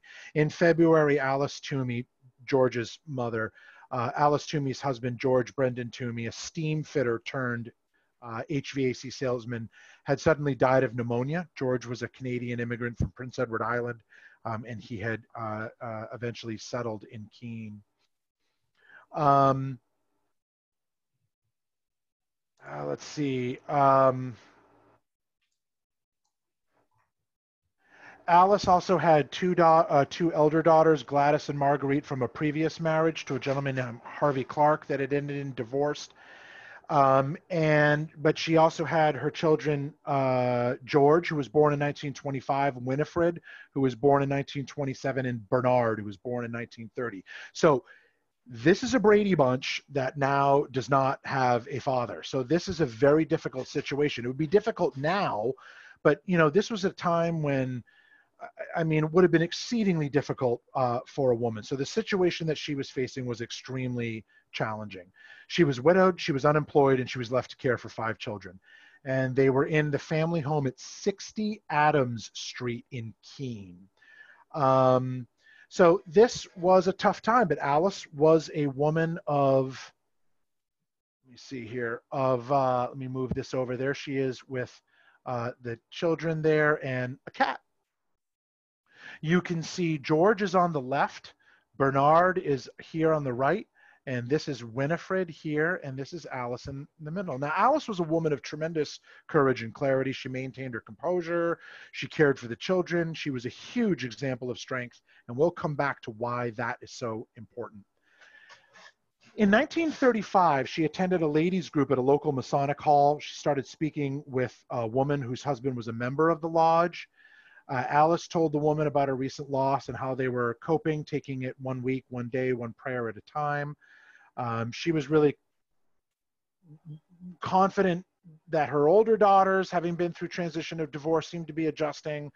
Her youngest children, Winifred and, and, and, and Winnie and Bernie, were a little too young to process, but Alice was worried about George, George Frederick Toomey. And, and Georgie, as he was called at that time, was 10 years old and he was struggling to cope. And the woman recommended to sign George up for a local summer camp uh, that it could be a really good thing for him. She spoke of the clean, secluded lake, the canoes. Um, she talked about the meals they eat, the songs they sing. She really was a good, dedicated sales representative for YMCA Camp Takodah. Her name was Frances Elwell, and her husband was Oscar Elwell. And George came to Takodah in 1935. He loved it.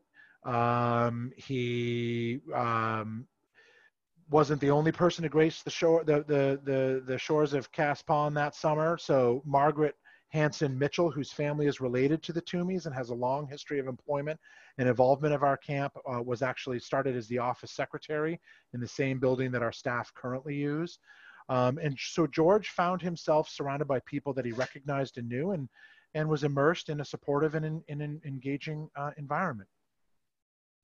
George came back to camp a couple of times, went through the Keene public schools, was a hardworking young man, got a job at the First National Store in Keene. Um, that's the store that he worked in. And he was a jolly good fellow. He loved to get the job done, as his classmates said. Uh, George, uh, after he graduated, worked throughout the summer of 1943 at the Marca Machine Company, um, and it was it was a good job. It was it was a job George, uh, you know, he he liked. On the 8th of November 1943, George Frederick Toomey enlisted in the United States Naval Reserve. Um, he was promoted to Seaman First Class on 24 December.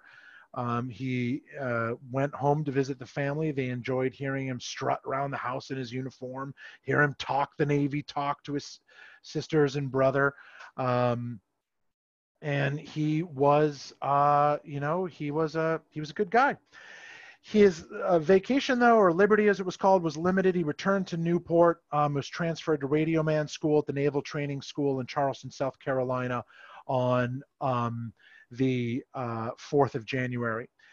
Uh, but this is where it gets tough again. So within days of his arrival, uh, George received some pretty rough news. His sister Winnie, a wonderful senior at Keene High, had died after a brief battle of spinal meningitis. Um, this was really difficult. Obviously, the the memories of the death of his father came flooding back. He was granted bereavement leave and traveled home for the funeral. It was a difficult, difficult trip. George grieved the loss of his sister, uh, but knew he had to get back to work. Um, so George returned to Radio Man School in January uh, and goes through his work. After successfully completing Radio Man School, George is transferred to the receiving station, Norfolk, Virginia, to await assignment. On the 30th of May, he's promoted to Seaman First Class, and he receives orders to the warship USS Underhill, a destroyer escort based out of Boston, Massachusetts. Um, now, the Underhill is one of these ships that was built really quickly uh, at the height of the U-boat campaign. Um, the destroyer escort was a design was very simple. Um, there wasn't much to it, uh, and George reported on board at the on the 8th of June. Um, he uh, got to work on board the Underhill. While in Boston, George met a girl named Claire. I we have a picture of her uh, here. Um, and while they were never married, it was very clear they were in love. We know that from pictures. We know that uh, he we from from the records that we have. And on June 19th, Underhill put to sea, and George got his first taste of Navy life. Um, after two weeks of training, um, they they get to they start their passage across the Atlantic. Uh, George was very excited to glimpse Gibraltar. We're sure of that, and the mysteri- mysterious North African coast. But as the warship entered harbor in Tunisia, she, she struck a submerged wreck, damaging a propeller. So they had to get the ship repaired. Uh, so they essentially um, remained in the Boston Navy Yard for the next three weeks as workers. Um, she arrived in Boston, back in Boston on the 19th, and, and was repaired over the course of several weeks. Um, they, uh, with the vibration fixed but now behind schedule, the warship put to sea on 12 September, uh, and they they uh, during that crossing on the 20th September, the crew felt a noticeable jar, um, and they realized later that the sonar dome had broken off the ship. They think the ship hit a whale, which is amazing. She arrives in Plymouth, England uh, puts into dry dock and gets repaired and goes back out to sea. Um, and this kind of thing goes on and back and forth. They're in Boston, they're out to sea. They're in Boston, they're out to sea. Um, they're in the New York Navy Yard. They're getting fixed. He's writing letters home. In fact, on January the 13th, 1945, he sent a letter home that said, Dear Mom and Bern, boy, it sure feels good to talk to you. I uh, hope everything's okay. You know, when we left New York, we were supposed to go to England. We got a little ways out in the harbor, and what do you know? Something went wrong with one of the screws, and we had to go back. Pretty lucky break, I guess. But what's interesting about that is um, if that hadn't happened, the ship may not have been where it was when uh, it eventually gets into trouble because um, the way that her uh, repair schedule went. So on February 8th, Underhill puts back out to sea, uh, escorting the HMS Patroller, um, which is a uh, aircraft carrier, a British light aircraft carrier, going through the Panama Canal. Uh, and this was the last time um, that George, uh, uh, as he left on that voyage, would see the United States. Writes several more letters home. Lots more going on. George continues uh, on board. Um, and um, ends up in a combat situation. So on 22 July, um, the destroyer escort departs uh, Ryukyu Island um, in company with eight smaller patrol craft. So she's left New England, co- uh, escorted that uh, aircraft carrier you see on the screen now through the Panama Canal, and they've come out into the Pacific. Um, and the commander of one of the escorts immediately noticed that Underhill was a very, very sharp ship. As he later put it in an article, the Underhill, our immediate superior, was well run and in Navy parlance, a happy ship. Um, and he goes on, you can read more of his quote in the story. But given the slow speed of the ships that the Underhill was escorting, progress was limited. Um, the radar air search did their best to keep an eye out. And on the morning of 24 July, one of the patrol craft, submarine chaser number 1315, broke down and was towed back to Okinawa. And then uh, just after 9 a.m., um, Underhill gets a broadcast that there's a bogey that's been uh, sighted. Um, and the gun crews got ready, but the aircraft seemed to veer away. Uh, and in another sign that the escort was a good ship, Commander Newcomb sent a message to all the smaller escorts. It occurs to me that some of you people might like some ice cream. I will give you five gallons of ice cream to three ships a day in the following order of rotation. Uh, and listed the order in which the ships were to come alongside Underhill and get their ice cream. That's pretty damn nice, said one of the skipper. He didn't have to do a thing like that. But the boys on board the Underhill, they were a good group. Um, on, the af- on that afternoon, Underhill was patrolling about 4,000 4, yards ahead of the convoy. Uh, her lookout spotted a mine. They worked their way around it. A few minutes later, um, at 1442, Underhill's sonar team picked up a submarine.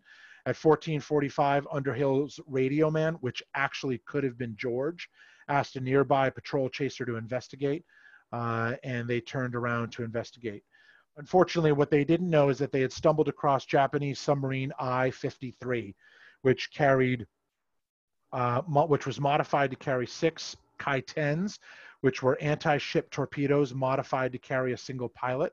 So these were um, essentially, you know, kamikaze pilots driving these things right here. So these are the kamikaze, essentially pilots of these Kaiten torpedoes, which they would get in and pilot from there, things started to under uh, started to um, unfold pretty fast.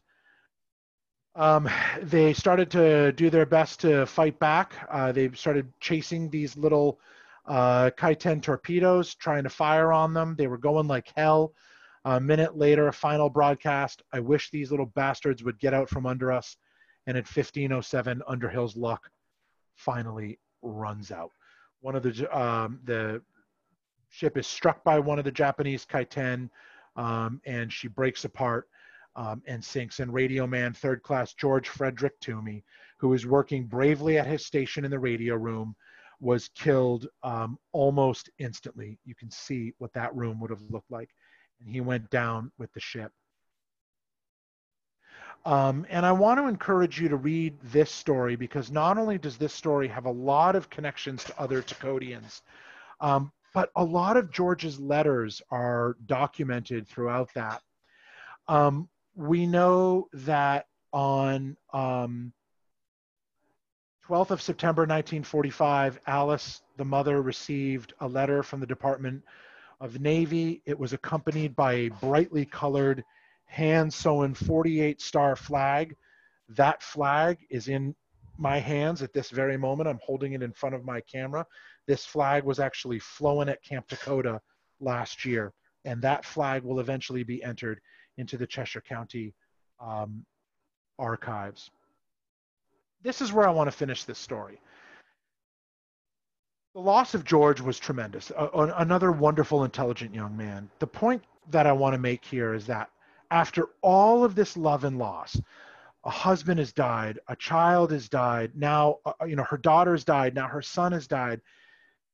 Alice, a woman, the mother of tremendous strength, goes on and realizes that she has to do something with this. So she uh, is part of the team that forms the New Hampshire Gold Star Mothers Society.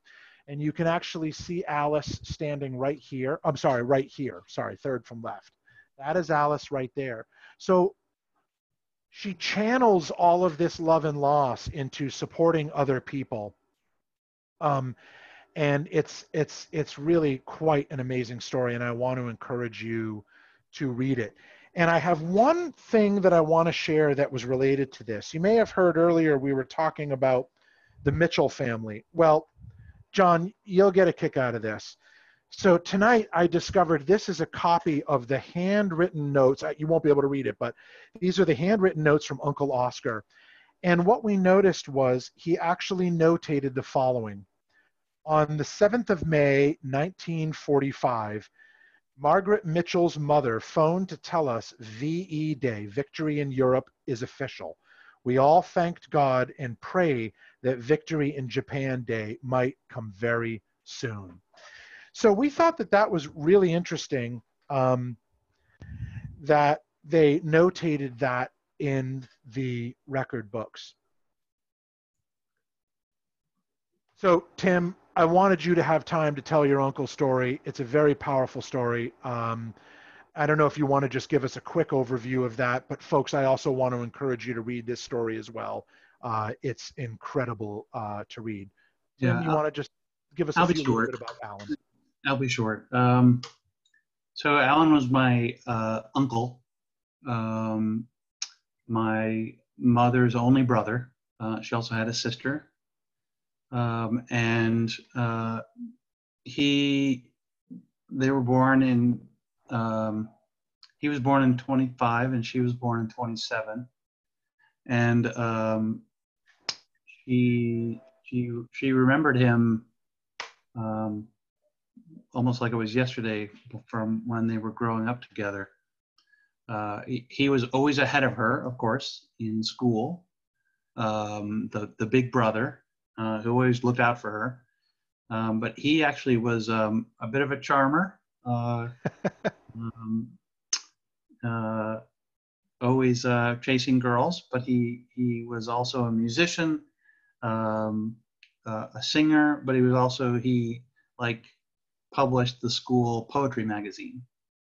Um, so he, uh, I think he was also the two of them also were by the time they got to high school, of course, they they had to do well because again, their father, my grandfather, was the high school history teacher, um, and and he so um, he he he probably laid down the law with them um, a, lo- a lot, and actually, there's um in one of the in one of the publications um, they put out, uh, which was usually poems or little stories sometimes um, based on you know, war rationing or what have you.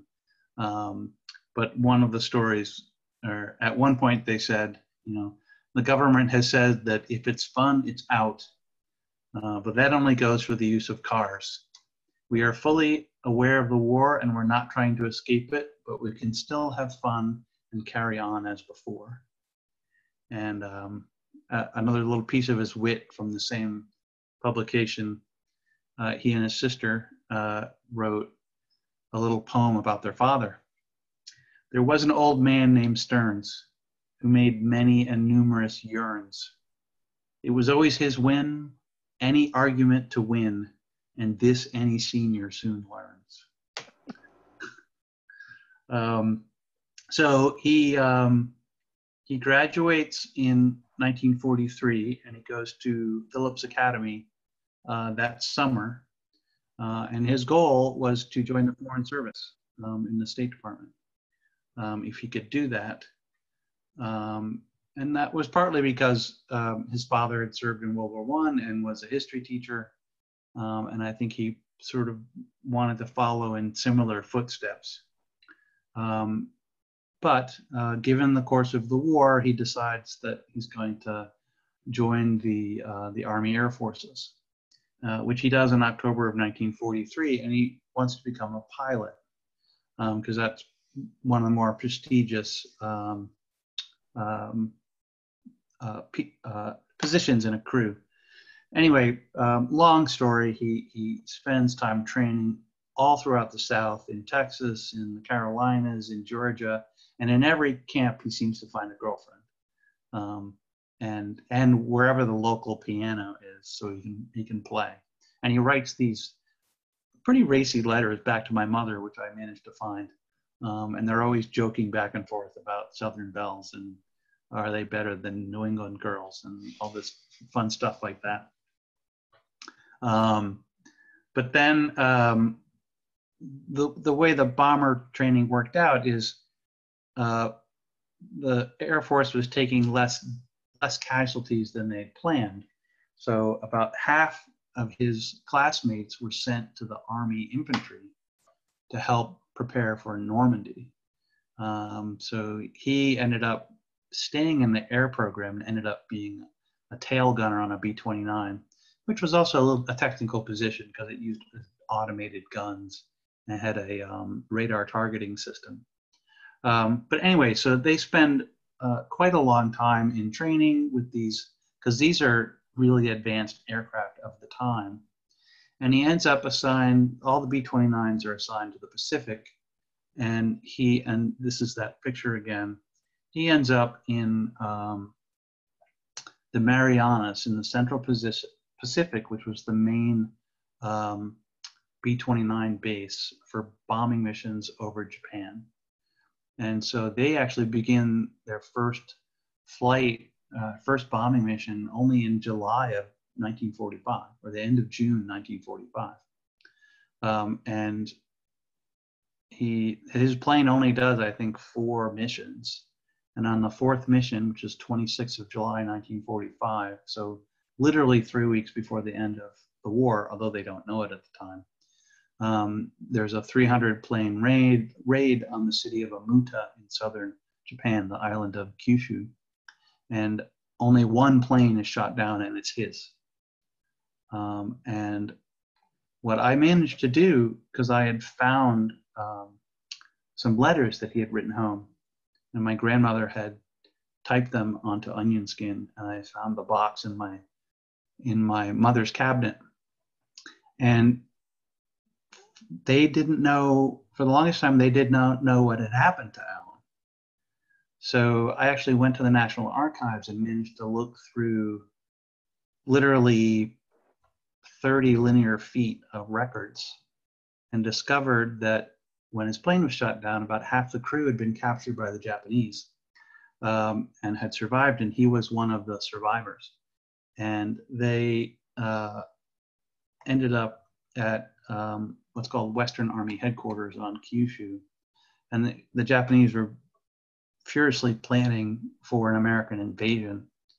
Um, and so they didn't have a lot of time for prisoners.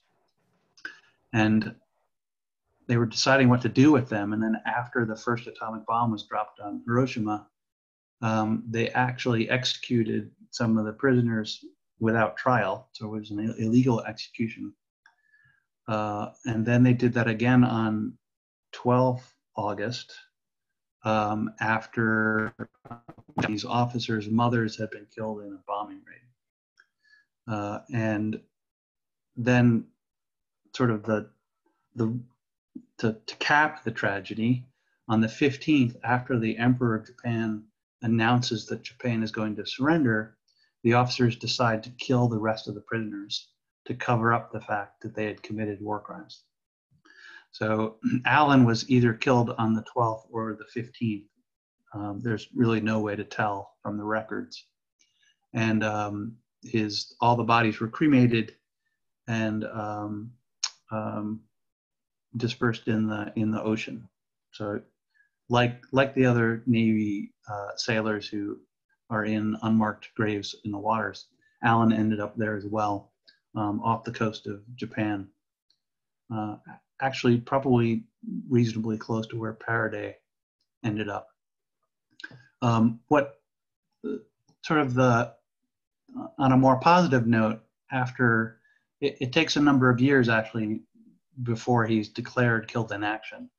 Um, but in at his memorial service, his parents, my grandparents, actually presented a um, a large uh, organ, um, uh, musical organ organ to the high school, and so it it actually was in the music department in Keene High School for many decades after the war.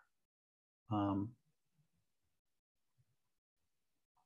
so there's, um, and, the, and the last thing is that one of the things that struck me the most when I was writing Allen's history was a letter, the last letter from the War Department in 1947, which, which basically changed his status from MIA to KIA.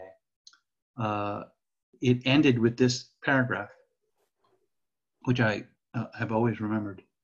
If in the end we learn that it has cost us your son's life to win back freedom and peace, then through our tears, let us take pride in his noble sacrifice, and let us use and pres- let us to use and to preserve that peace and freedom that all that all of his heroic comrades may not have given their lives in vain.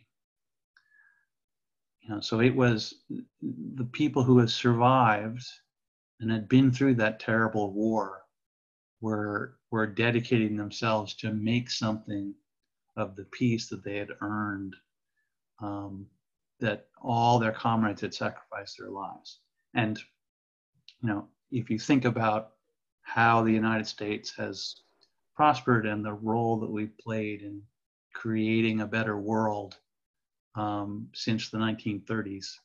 Uh, I think we have done uh, we've done that job, and those of us who still serve or who have served in between, um, any other veterans on this call, you know, I always keep that in mind as well that we we stand on the shoulders of their sacrifices.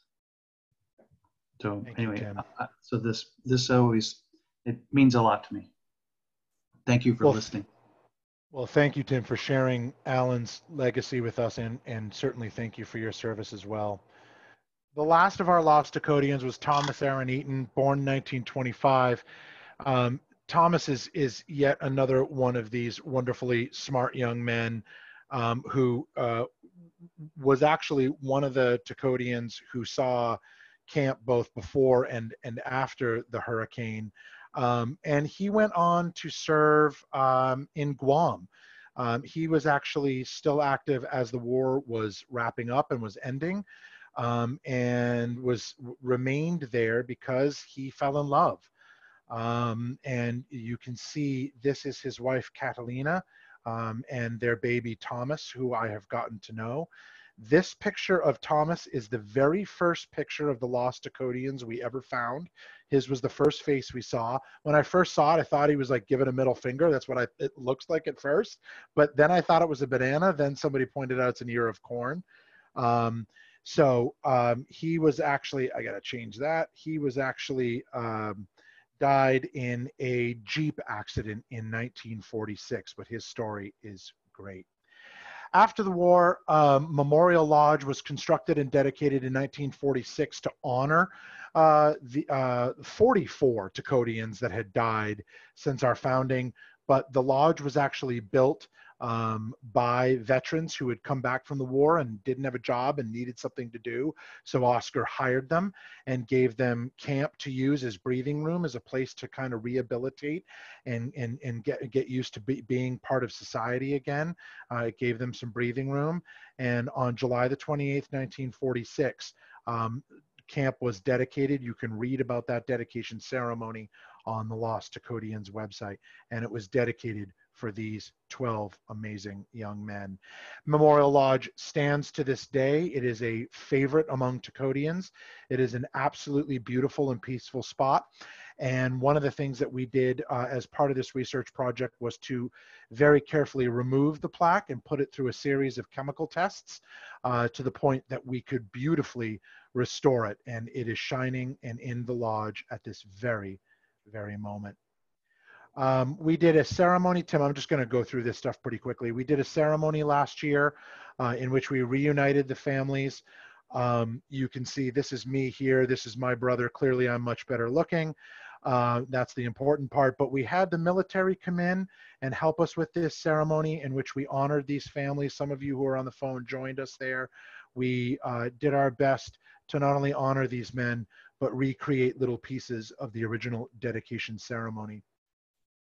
Since then, we've visited five out of 12 grave sites, and we have left granite CT markers um, at each one, along with new flags. We visited the graves of Toomey, Robinson, Lancey, Kingsbury, and just this week, my wife Carrie and I visited William T. Burroughs Jr., and you can see his granite CT is there.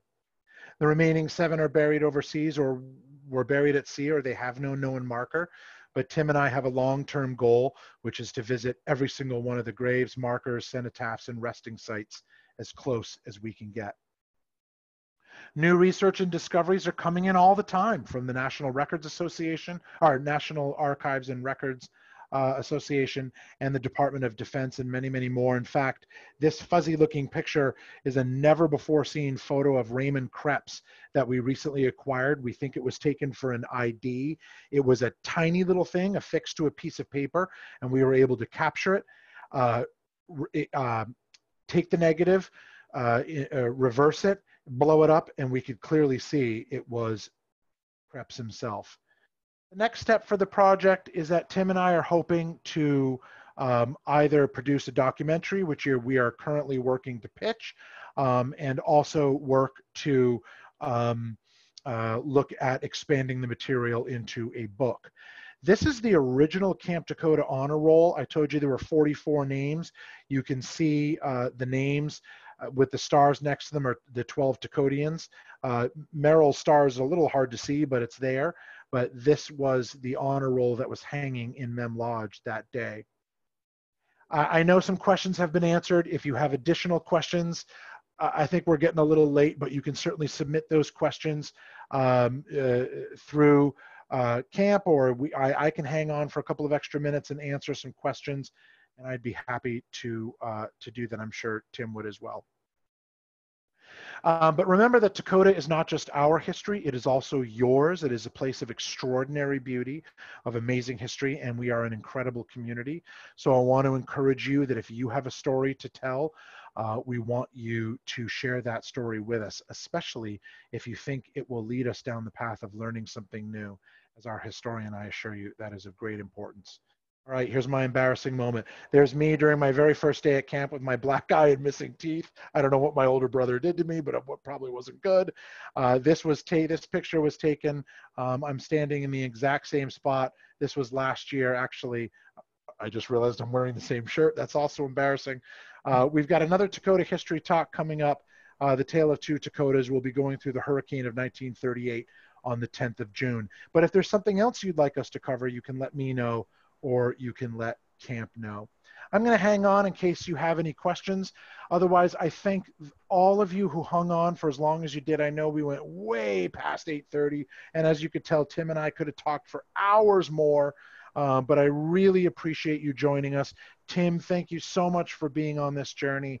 Uh, my World War II families, uh, we care about you very much and appreciate you joining us on this journey. For those of you who have joined us to hear some of these stories for the first time, I encourage you to go to the Lost Takodians site and read them all. Tim, any final thoughts? No, just uh, thank you for everyone for listening, and um, uh, I, re- I, really appreciate um, I really appreciate that. And the the story of your camp is a wonderful one. Um, you have a great community um, and it, it um, it's great to be a part of that. Great. Thank you, Tim. Thank you. So as we say, day is done, gone the sun. Good night Takodians. Brian, if you want to stop the recording, I'll hang on in case there's any questions. Thank you very much.